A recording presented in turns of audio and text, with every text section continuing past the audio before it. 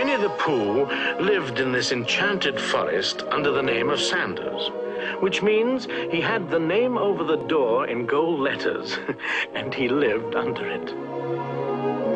Now, when Pooh heard his cuckoo clock,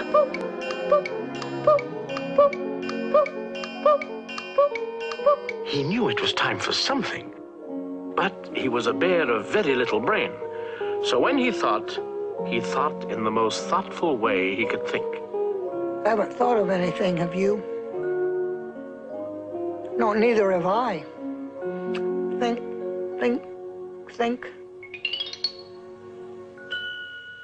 Oh, yes, time for my stoutness exercise.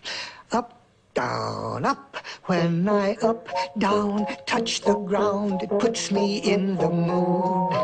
Up, down, touch the ground, in the mood for food.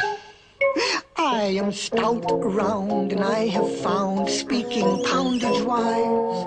I improve my appetite when I exercise. Oh, stuff and fluff. That's better. Thank you. Now,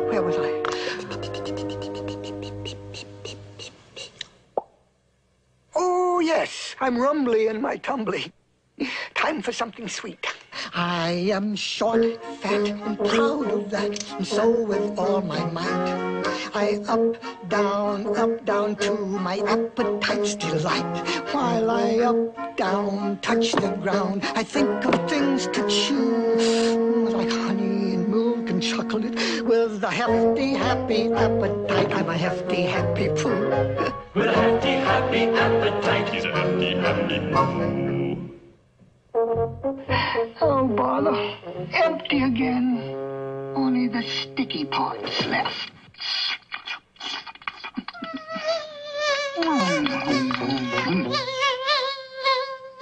that buzzing noise means something. And the only reason for making a buzzing noise that I know of is because you're a, a bee.